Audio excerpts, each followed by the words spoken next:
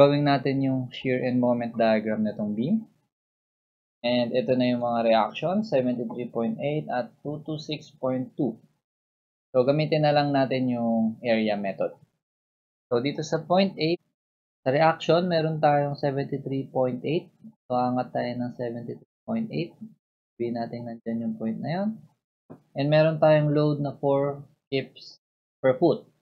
So, sa point B, 4 times 25, 100. Babawas tayo ng 100 from 73.8 so giging negative 26.2. From point B to point C, yung uniform load na 4 times 25, so babawas ulit tayo ng 100. So minus 126.2. And pagdating dito sa support, sa point C, angat tayo ng 226.2. So mapupunta tayo dito sa 100. And 4 times 25, 100. So, 100 minus 100, 0. So, ito na yung shear diagram.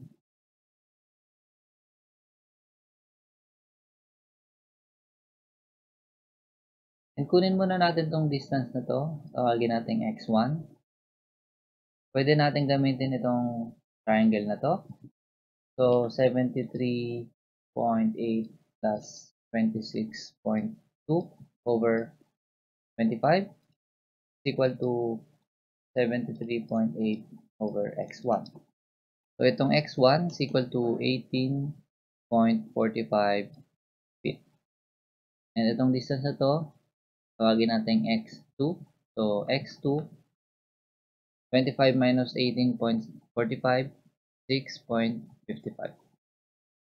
Pag kinuha natin yung area nitong triangle, 1 half base times height, 680.5.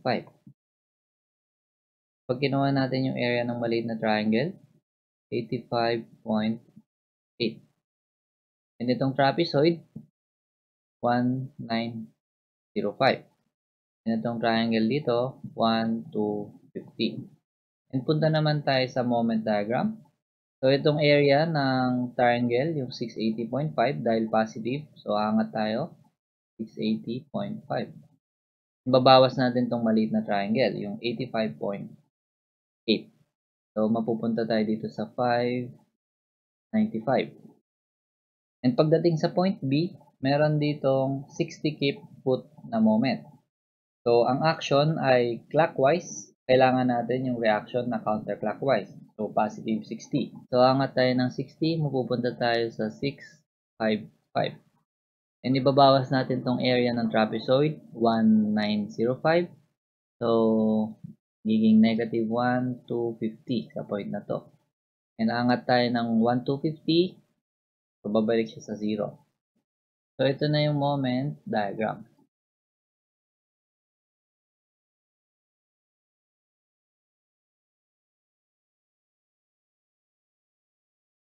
Hindi na ako masyadong nagbigay ng detalye dahil meron na akong video nito sa strength of materials. Drawing naman natin yung shear and moment diagram nitong frame. So, dito sa frame, pwede tayong mag-cut dito sa point B. Unahin natin itong AB. So, kung ito yung AB, dito yung reaction na 30, meron ditong 60, meron ditong 60 kN na load sa gitna. So, distance nito, 3 meters, 3 meters. Para maging equilibrium to, kailangan meron tayong force dito na 30 kN. And yung moment na 180 kN meter. Pwede na natin i-drawing yung shear and moment diagram.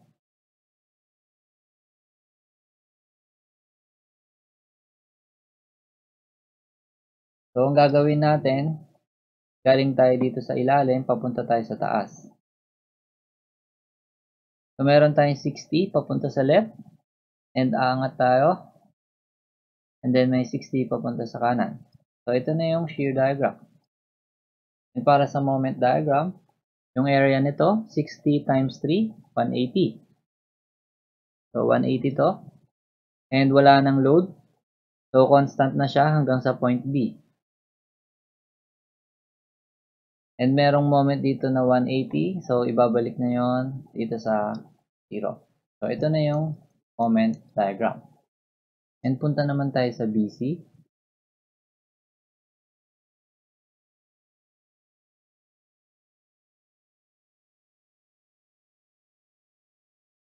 So, yung reaction dito, 45. Meron tayong forces dito sa point B.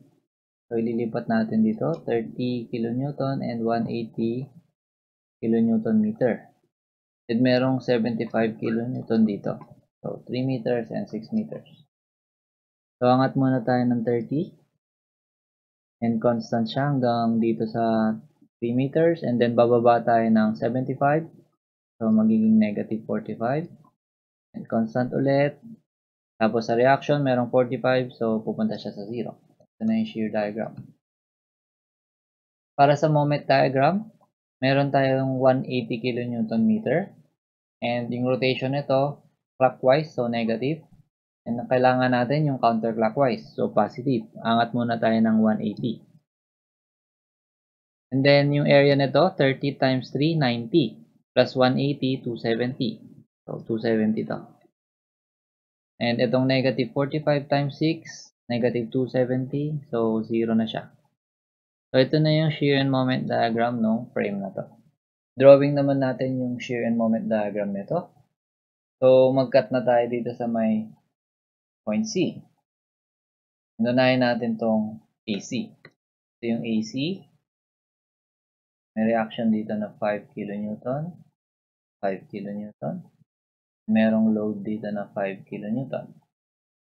So, para mag maging equilibrium to, meron ditong 5 kN. Meron tong moment, 20 kN meter.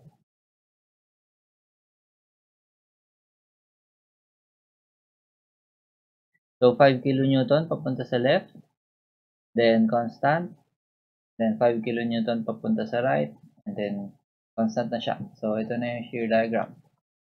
Para sa moment diagram, ang area nito, ang rectangle, 5 times 4, 20. So, 20 to. And constant na siya hanggang sa point C. And dahil merong 20 kN sa point C, babalik niya dito sa 0. So, ito na yung moment diagram. And ito yung para sa AB. And unahin muna natin itong BB. Cut tayo dito. Itong sa BB, meron ditong reaction na 15. So, para maging equilibrium to, meron din 15 kN dito. And dahil wala tong shear at moment, so wala siyang shear and moment diagram. So, pwede na tayo pumunta dito sa CD. So, 5 kN meter to. And meron tayong forces dito sa point B. So, 5. Moment, 20. And dito sa point D, merong 15 pataas. Distance nito, 4 meters.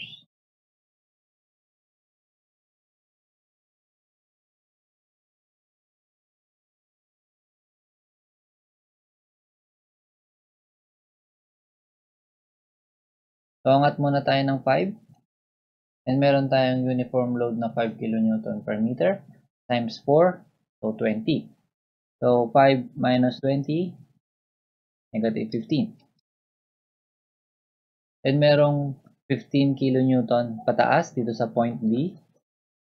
So ibabalik niya yon sa 0. So ito na yung shear diagram. And yung distance nito, gamit yung similar triangle. So ang distance nito, 1. And ito naman, 3 meters. Pupunta na tayo sa moment diagram. So, meron tayong moment na 20. So, angat tayo ng 20. And yung area ng positive na triangle, so 1 half times 1 times 5, 2.5 plus 20, 22.5. So, 22.5. Itong area ng negative shear, 1 half times 3 times negative 15, negative 22.5. So, magsisiro na siya. So, ito na yung shear moment diagram ng frame na to.